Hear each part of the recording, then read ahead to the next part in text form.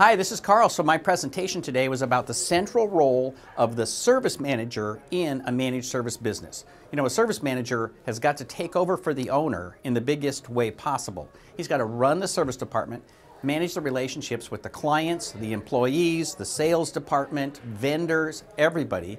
He's got to have a huge skill set, which means you can't just take your big successful technician and turn them into your managed service provider. You've got to find somebody who's exactly right for that role. So we talk about how you're going to find that person and the sorts of skills that they need to have.